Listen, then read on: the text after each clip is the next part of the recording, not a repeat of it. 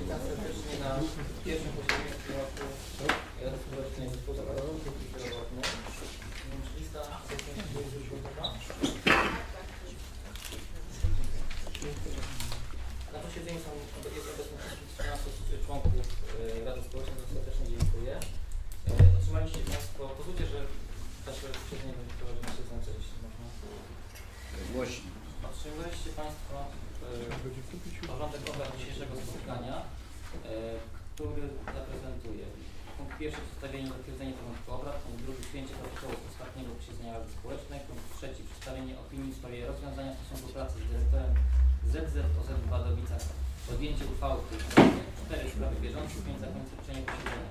Ponieważ sytuacja jest dynamiczna i w związku z ym, wydarzeniami, które miały miejsce w ciągu ostatniej godziny, Pozwólcie Państwo, że zmieniłem porządek posiedzenia, dlatego że y, y, zostało zawarte porozumienie z Panią Dyrektor y, i zarząd odstępuje od, na zamiar będzie rekomendowane odstąpienie od dyscyplinarnego zwolnienia i jest zawarte porozumienie. W tej sprawie z Panią Dyrektor jest sporządzona notatka służbowa w tej sprawie i ona zostanie podpisana. Jutro zostanie dokument przekazany Pani Dyrektor. Pani Dyrektor zobowiązała się do do tego, że w okresie od 15 mm, kwietnia do 31 lipca, będzie e, w tym okresie zwolnienia zwolniona ze świadczenia pracy, w tym okresie zrezygnowała ze stanowiska mm, i zarząd powoła do e, osobę pełniącą obowiązki dyrektora szpitala w e, Zespole Zakładów Opieki Zdrowotnej, dlatego proponuję zmianę punktu trzeciego porządku obrad i w, w tym miejscu wpisanie e, punktu zaprezentowanie e, kandydata zarządu, w najbliższym czasie będzie tylko zatwierdzony, tak myślę, e, kandydata na pełniącego obowiązki zespołu zakładów opieki zdrowotnej w Wandowicach. Kto z panów, i panów jest za przyjęciem porządku obrad w takim brzmieniu? Kto jest przeciw, kto się wstrzymał? Jednogłośnie. Dziękuję. Przejdźmy zatem do e, punktu drugiego. Przyjęcie porządku, e, protokołu ostatniego posiedzenia, które odbyło się 17 mm, grudnia 2015 roku. Kto z Pani jest za e, przyjęcie protokołu ostatniego posiedzenia? Kto jest przeciw? Kto się wstrzymał? Mm. Przejdźmy zatem do Pozwólcie Państwo, że zaprezentuję, e, powiem pokrótce o, o treści porozumienia, e, które zostało zawarte z Panią Dyrektor Kozimetanie. E, e, udało się nam z Panią Dyrektor skontaktować w dniu dzisiejszym. Pani Dyrektor poprosiła o kontakt e, na godzinę 14.30, taki telefon został wykonany. W obecności protokolanta, e, e, koordynatora zespołu radców prawnych, pani sekretarz, pani starosty, nie zostało sporządzone pro, e, porozumienie. E, na podstawie e, pisma, które zostało do pani dyrektor wysłane dzisiaj rano, zostało to, e, została treść porozumienia zaakceptowana przez panią dyrektor, zatem ona jest, porozumienie to jest skuteczne pod względem formalnym, skuteczny prawnie. Em, Przeczytam może pismo, które zostało Dyrektor w dniu dzisiejszym rano wysłane. W związku z złożeniem przystania oświadczenia o sporządzeniu umowy o pracę stanowiska dyrektora Wadowica, która rozwiązuje się z dniem 31 lipca 2015 roku. Proponuje Pani zwolnienie ze świadczenia pracy w okresie wypowiedzenia, jest od dnia doręczenia Pani wyżej wymienionego pisma. Za cały okres wypowiedzenia to jest od dnia do dnia 31 lipca 2015 roku. Otrzyma Pani wynagrodzenie zgodne z obowiązującą umową o pracę. Proszę o informację, czy wyraża Pani zgodę na nieświadczenie pracy w okresie wypowiedzenia. Yy, Pani dyrektor zaakceptowała, to, yy, zaakceptowała treść takiego porozumienia. Od, yy, od 15 mm, kwietnia będzie przekazanie stanowiska. Porozumienie sprawie zostanie dzisiaj w dniu jutrzejszym wpisane, podpisane przeze mnie Pani dyrektor związała się je podpisać. Tyle w tym temacie. Nie wiem, czy są jakieś pytania.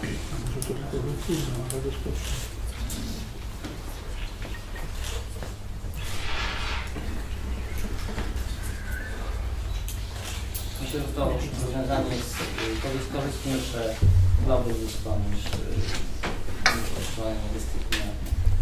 Y, Zatem przejdźmy do punktu trzeciego. Y, Punkt dzisiejszych obrad, czyli zaprezentowanie kandydata y, zarządu, y, który zostanie w najbliższym czasie powołany przez zarząd jako osoba pełniąca obowiązki dyrektora zespołu zakładu opieki zdrowotnej w Ratowicach. Mm, Osobą, którą chcemy rekomendować i, i którą prezentujemy na posiedzeniu zarządu naszego kandydata do pełnienia e, obowiązków dyrektora zakładu jest Pan e, Józef Budka. Mm.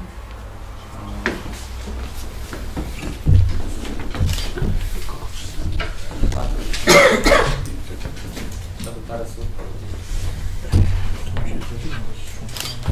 Proszę Państwa, Panie Przewodniczący, proszę Państwa, ktoś musi pełnić te obowiązki do momentu wyłonienia, wyłonienia dyrektora ZOZ-u. W związku z tym, że mam te doświadczenia y, kierowania współodpowiedzialności za szpital, wyraziłem zgodę na to, żeby kandydować na ten okres pełnienia obowiązków.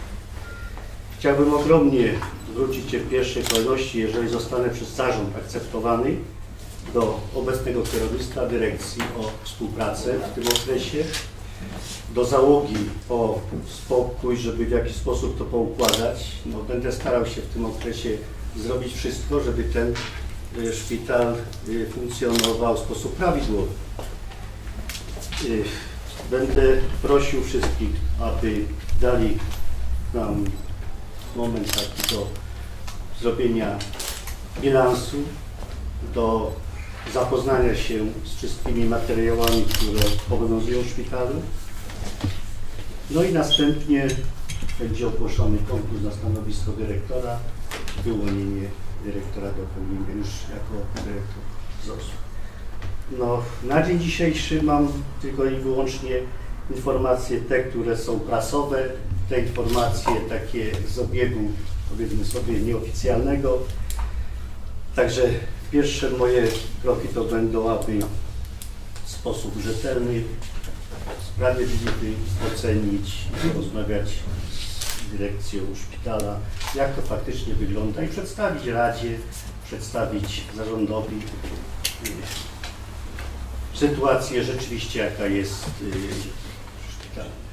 Szpital nie może funkcjonować bez kierownictwa, szpital nie może funkcjonować bez jakiejś wizji przyszłości i dlatego będę starał się, żeby ten okres bardzo spokojnie powiedział na chwilę obecną tyle, ponieważ z zarządem jeszcze nie rozmawiałem, to będę proszony na zarząd oficjalny, to ewentualnie przedstawimy swoje, zarząd swoje oczekiwania.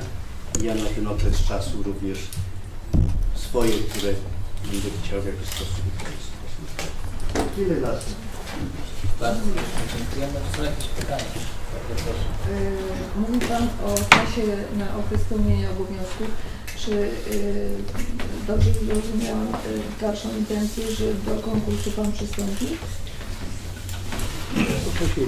No, jeżeli się podejmuje już pełnić obowiązki, no to chyba będzie wymagała mnie taka sytuacja, żeby przystąpić, ponieważ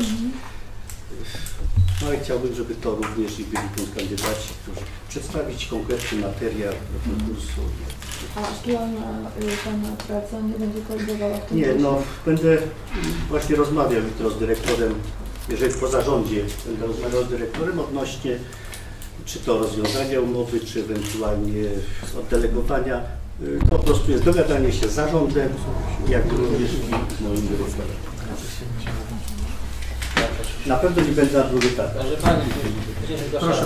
Bardzo Nie wszyscy Pana znamy bliżej, w związku z czym prosiłabym o przybliżenie swojej osoby, coś więcej o sobie, o swoje, jak, jak, jaki Pana menadżer jest, jak się Pan czuje po prostu jako menadżer. Czy ma Pan jakąś praktykę w tym kierunku? Jestem związany już y, tutaj w agencji, pracuję 7 lat minęło. Przejąłem agencję y, w dość takim też nietypowym okresie i myślę, że ta agencja funkcjonuje dzisiaj tak, jak po prostu funkcjonuje, nie ma żadnych uwag. Przed przyjazdem tutaj do Wadowic, ponieważ ja jestem od 25 lat raczej mieszkańcem Wadowic, to znaczy się tutaj kupiłem dom. Tutaj mm, moja rodzina mieszkała, ja mieszkałem na Śląsku do momentu, dopóki nie znalazłem pracy w Wadowicach. Y, Przed przyjściem do Agencji Restrukturyzacji byłem 3 lata dyrektorem ekonomiczno-administracyjnym Szpitalu w Pyskowicach. Y, Rozwiązanie nastąpiło na razie porozumienia stron. Później pracowałem przez 20 lat w przemyśle węglowym. Byłem również y, zastępcą, byłem dyrektorem, agent, byłem dyrektorem Miejskiego Przedsiębiorstwa Gospodarki Komunalnej i Mieszkaniowej w Zabrzu.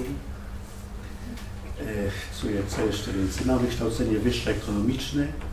Mam również dokumenty dotyczące zarządzania nieruchomościami, uprawnienia państwowe. Mam trójkę dorosłych dzieci.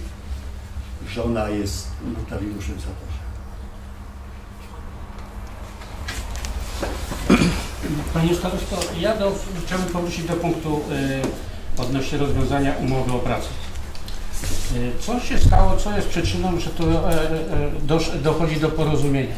Bo jeśli y, informacje te, które ja posiadam, pani dyrektor przebywała na zwolnieniu lekarskim i została przyłapana na tym, jak zdaje egzaminy. Jeżeli to nie jest prawdą, prosilibyśmy o, e, prosiłbym o wytłumaczenie tego, bo jeżeli jest to prawdą, no to którego z pracowników szpitala, jeżeli by przyłapali na zwolnieniu lekarskim, że robi inne czynności niż te, które e, powinien, czyli leczyć się, e, no skończyłoby się to zwolnieniem dyscyplinarnym.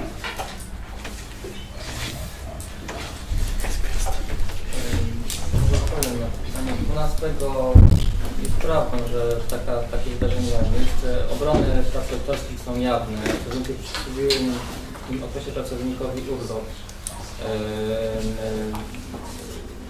Znaczy przysługuje pracownikowi zwolnienie prawda, na okres obrony, natomiast te czynności Pani Dyrektor faktycznie wykonywała w okresie E4, czyli zwolnienia lekarskiego. To jest, y, mam tutaj opinię, rad- to jest y, naruszenie y, prawa. Natomiast y, faktycznie tak, takie, taka, takie wydarzenie miało miejsce. Natomiast podjęliśmy decyzję, że mm, korzystniejszym dla obu stron rozwiązanie y, y, y, stosunku pracy za porozumieniem stron niż, niż y, dyscyplinarnie z wykorzystaniem y, artykułu 52. No, To jest, zależy dla kogo korzystam. Nie wiem, e, ja bym tutaj próbował zasięgnąć opinii e, naprawdę pracowników szpitala, bo, bo ja na przykład nie podniosę ręki za tym, bo mnie nigdy w życiu nigdzie pomógł w takim przypadku czy w innym, jak coś e, mi się noga powinęła. E, Tym bardziej, że wiemy e, jakie problemy były z panią e, e, dyrektor. Sam pan, e, panie e, starosto, miał problemy, żeby dostać jakiekolwiek informacje od pani dyrektor. Nie wiem, e, ja na pewno ręki nie podniosę za tym, aby rozwiązać umowę za porozumieniem. Dziękuję.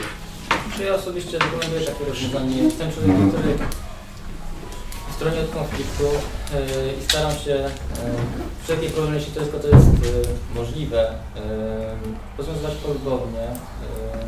Zawsze lepiej mieć, mieć po prostu przyjaciół wokół siebie.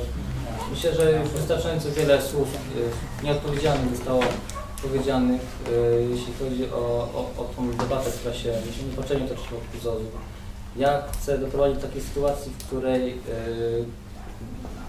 nowy dyrektor zakładu będzie do niego pracował rzetelnie, będzie miał lepszą komunikację z obecnym zarządem, bo to w jaki sposób do tej pory wyglądała współpraca, to wiedzą tak naprawdę wie o tym pięć osób, pięciu członków zarządu, my to wiemy. No.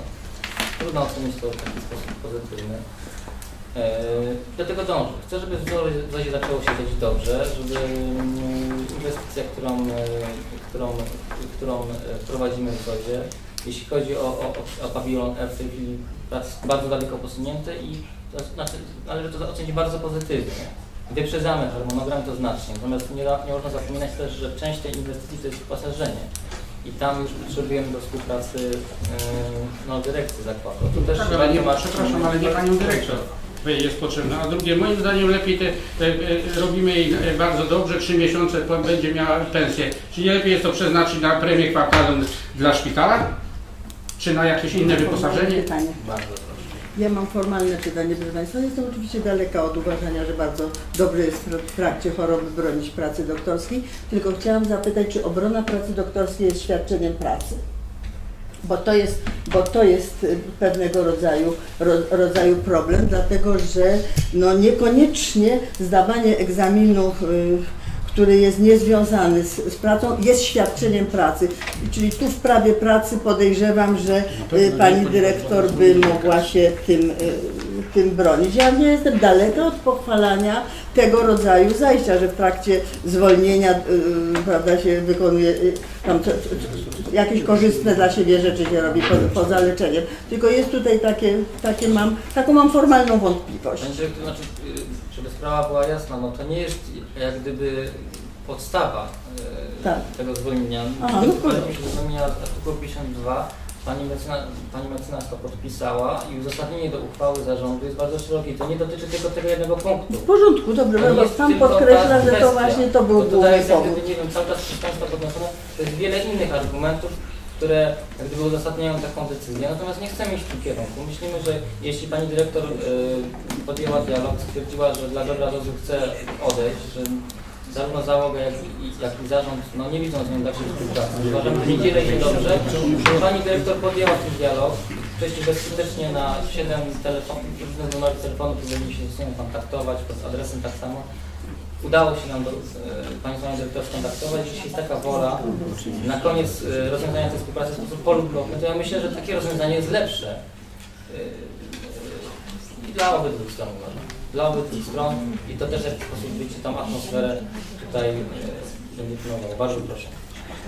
Ja myślę, że no tutaj różne sprawy, każdy może mieć swój pogląd, ale ja myślę, że nie powinniśmy się skupiać akurat na tej jednej personalnej sprawie, bo, bo wydaje mi się, że czas, e, w którym się spotykamy, jest e, takim czasem, kiedy powinniśmy rozmawiać o rzeczach fundamentalnych, a powiedzmy, że ta sprawa personalna nie, nie jest dla mnie rzeczą fundamentalną w tym momencie. Czy to będzie artykuł 52, czy artykuł jakiś inny, czy porozumienie. Powiedzmy, że to są drugorzędne dla mnie teraz, w tym momencie sprawy. Na połączonych komisjach, które miały, znaczy na obradach połączonych komisji, Komisji Budżetowej i Komisji Zdrowia, e, ustaliliśmy, to było bodajże 10 marca, tak, 10 marca. Ustaliliśmy, że do 10 e, kwietnia od zarządu wpłyną do nas materiały, e, które pokażą nam rzeczy fundamentalne, to znaczy w jakim jesteśmy miejscu, gdzie my zdążamy, jak, jak, jak, jak, jak, jak jest ten, ta, ta przyszłość, którą, którą, którą, którą na dzień dzisiejszy możemy zdiagnozować, zdefiniować, do której się możemy odnosić. Tak? Ja mam y, pytanie, czy zarząd, y, y, 10 jest jutro, czy ten termin będzie dotrzymany ze strony zarządu? E, No, dziękuję za głos rozsądku. Ja że musimy patrzeć do przodu, a nie wstecz. E, Ja sobie mam, o to bym prosił. Bardziej dyskusja powinna iść w tym kierunku właśnie tych nowych osób, które się pojawiają, nowej osoby, niż tego, w jaki sposób zostanie zakończona tą współpracę. Jeśli chodzi o ten dokument, to e, e, uchwała tych dwóch komisji miała troszkę inne brzmienie. My zobowiązaliśmy dyrekcję do przedstawienia takiego e, dokumentu do 10, natomiast zarząd na pierwszym posiedzeniu miał przekazać to pod uchwałę połączonych komisji. Taki był dokładnie zapis. Jutro mija e, termin wyznaczony przez zarząd. Otrzymałem informację e, od pracowników, że nie dotrzymają tego terminu i że w poniedziałek będzie też rozumiem ostateczny termin. Nie dotrzymamy terminu ze względu na to, że nie mamy wszystkich informacji o przekazanych ze starostwa.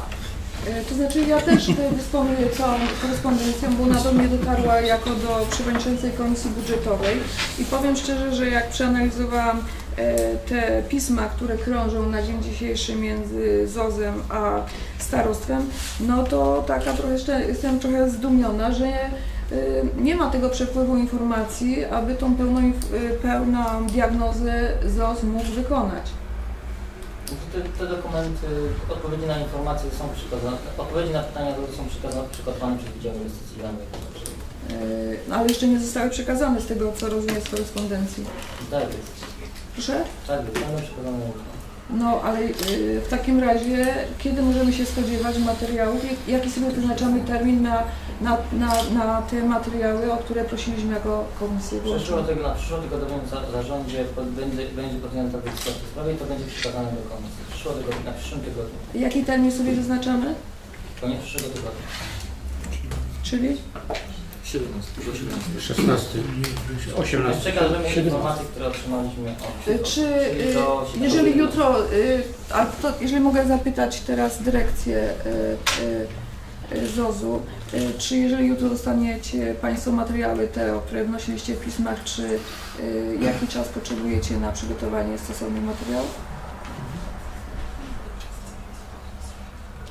To zrobić. Ten termin jest realny? Tak. No to w takim razie y, ja myślę, że, bo Pan będzie od 15, tak? Y, Że to już będzie też przy Pana współudziale i że możemy na, na ten, ten tydzień po 17 zwoływać już termin y, o posiedzenia obu komisji, tak? Z materiałem. Z Tak? materiałami.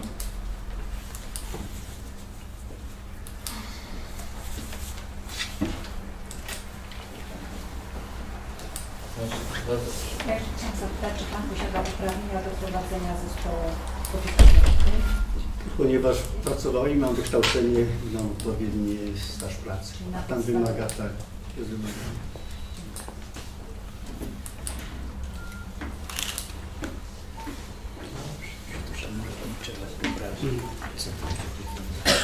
Może także jeszcze też słówko, żeby rozwiać y, tam y, kolegi radnego tę sprawę tych, y, akurat tego rozwiązania, polu- po zawarcia tego porozumienia, nie? Bo jest to też od razu o tyle wygodne, że, że przy tym zwolnieniu z artykułu 52 no są pewne tryby jeszcze odwoływania i tak dalej, żebyśmy już przecięli też tą sprawę, że możemy 15 po prostu powołać pełniącego obowiązki dyrektora przychodzi. Skończyło to, to, to bezkrólewnie w tym no, ponieważ, ponieważ to też tak troszeczkę nam, nam to ułatwia sprawę jako zarządowi, żeby coś zaczął, zaczęło się dziać. Dlatego dziękuję. Są jeszcze jakieś pytania do, nas, do Pana wicepremiera? Jeśli nie ma, to przejdźmy może do y, punktu czwartego, sprawy bieżące. Wiem, że z naszej strony nie ma żadnych dokumentów przedstawionych, prawda? Czy są jakieś sprawy bieżących uwagi? Bardzo proszę. W sprawach bieżących, no nie wiem, czy są sprawy bieżące. Y, Ostatnia wielka taka debata na temat aktualnej sytuacji miała miejsce na ostatniej y, sesji, kiedy no, dużo rzeczy zostało powiedzianych, przedstawionych. Mam takie pytanie, czy od tego momentu, kiedy y, spotykaliśmy się, chcecie Państwo, oczywiście mówię tutaj do dyrekcji przedstawić nam jakieś okoliczności, które są nowe, czy czy, czy coś chcecie nam powiedzieć, bo, bo po prostu chciałam też, żeby pewna aura takiej nerwowości troszkę się uspokoiła, bo tak się zrobiło nerwowo bardzo wokół szpitala. Y, Czy Państwo chcecie nam coś powiedzieć? Nic nowego? Wyczerpałem, wszystkie informacje, jakie miałem do przekazania w czasie tej sesji. Słusznie Pani zauważyła, że byłem lekko podenerwowany, bo e, uznałem, że te wszystkie wypowiedzi, generalnie wszystkie, które zmierzały do ustalenia stanu faktycznego ZOZ-u, były niezwykle krzywdzące dla Pani Dyrektor i generalnie dla wszystkich pracowników ZOZ-u. To jest wszystko, co chciałem powiedzieć w przepraszam, co jest przyczyną e, złożenia zwolnień przez Państwa? Proszę Pana, y, czy Pan zamierza wkraczać w prywatną sferę mojego życia? Nie, nie, ja za, Dziękuję. Ale Pan jest osobą publiczną. I powinien Pan wypowiedzieć, co było przyczyną tak naraz podjęcia decyzji. podobno Pani Księgowa też. Nie wiem, czy to prawda.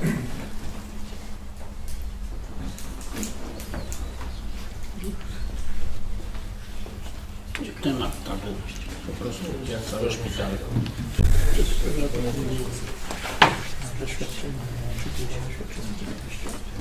Przecież nie jest pracownikiem bieżące.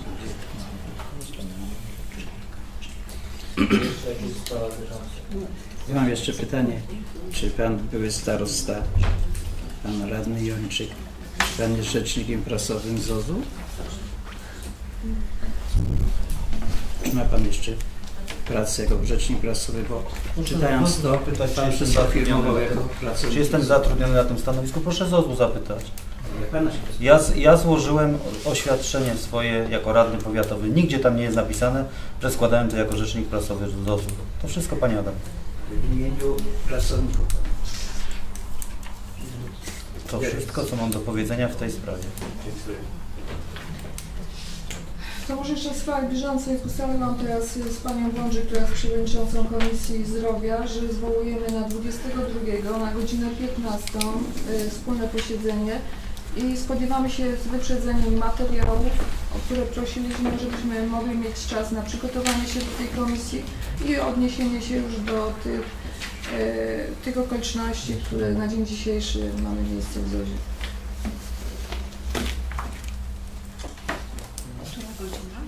15. Ale będzie jeszcze powiadomienie, tak? Tak, będzie, będzie, no bo nie ma dzisiaj wszystkich y, kandydatów, znaczy, y, członków komisji, ale dla tych, którzy już są, to chciałam, że 22 do 15 się spotykamy.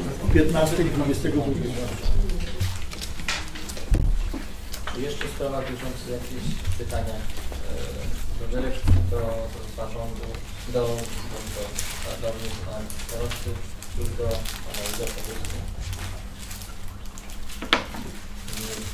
Bardzo serdecznie dziękuję za udział w dzisiejszym spotkaniu. Możemy zakończyć posiedzenie.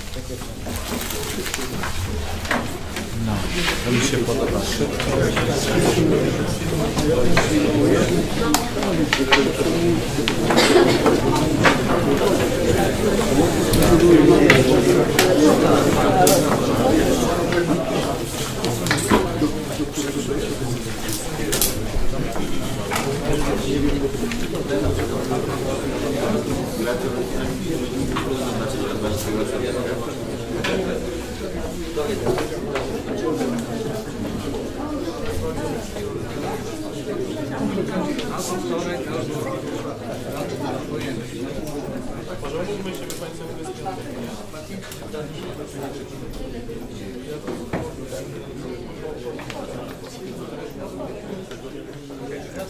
Gracias.